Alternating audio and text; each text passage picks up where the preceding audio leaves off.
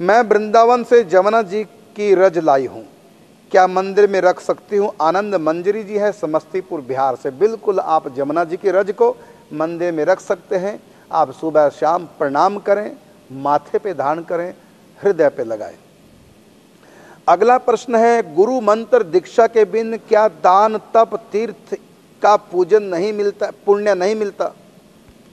मिलता तो है लेकिन बहुत कम। कहा ना गुरु बिन माला फेरते, गुरु बिन देते दान, गुरु बिन सब निष्फल भयो, बूझत वेद पुराण सरोपरि महिमा गुरु से। देखिए,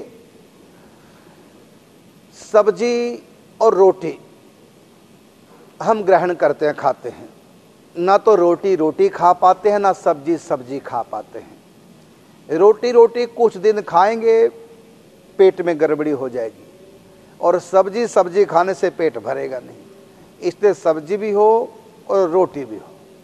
तो गुरु ना बनाए, खाली पुण्य पुण्य करें, स्वर्ग तक जाएँगे। भगवत प्राप्ति कोई भी पुण्य हमको भगवान की तरफ़ नहीं ले जा पाएगा।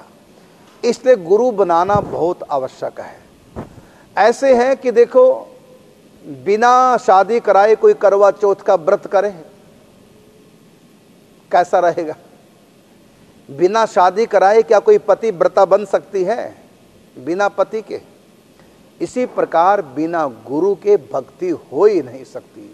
हम दान पुण्य परोपकार सब कुछ करें, लेकिन गुरु ना बनाए तो गुरु बिन भव निधि तर ही ना कोई। जो विरंच शंकर सम होई, आपके पुण्य आपको स्वर्ग ले जाएँगे, ब्रह्मलोक तक ले जाएँगे, आपके पुण्य जनलोक तपलोक महर लोक तक ले जाएँगे। लेकिन माया के उस पार आपके पुण्यों की पहुंचनी वहाँ तो गुरु कृपा ही काम करते गुरु कृपा ही केवलम। तो गुरु बनाना आवश्यक है, नाम जाप करते हुए दीक्षित पहले आप होए, नाम जाप करें, दीक्षा मंत्र का जाप करें। गुरु आज्ञा में रहकर आप जो भी पुण्य करेंगे, सबका अक्षय फल होता है। और अपनी मर्ज़ी से पुण्य करेंगे, सबका क्षय फल होता है। तो अक्षय फल प्राप्त नहीं होता बिना गुरु के, बिना दीक्षा लिए, किसी भी कर्म का अक्षय फल नहीं। आपके पुण्य बिना गुरु के, आपके पुण्य स्वर्ग ले जाएँगे, पुण्य भोगे, फिर वापस दुनिया में आना पड़ेगा।